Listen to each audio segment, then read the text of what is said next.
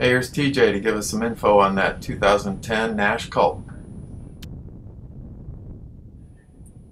The 2010 Naish Cult still remains one of my favorite kites in the Naish lineup this year. Really allowing me to peel upwind away from the sandbar in these onshore conditions we have.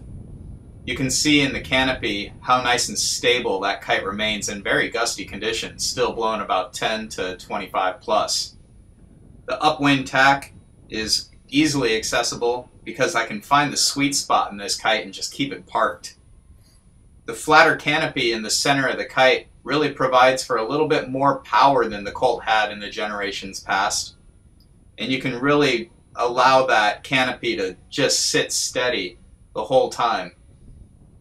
Never really any luffs in the canopy. I think the stability has a lot to do with Naish's patented geotech framing system.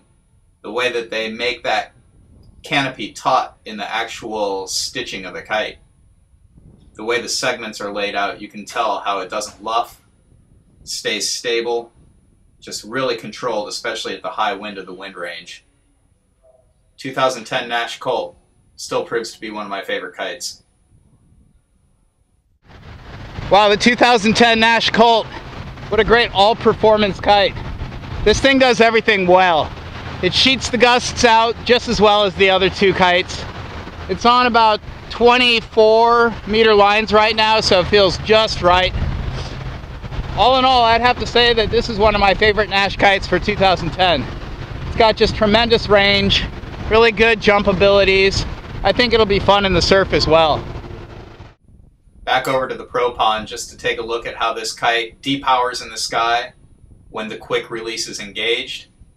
By pushing the smart loop away from me, my leash is now attached to the yellow line, which is attached to one center line, which makes this kite really easy for self-landing and or self-rescue. Still loving the 2010 Cult.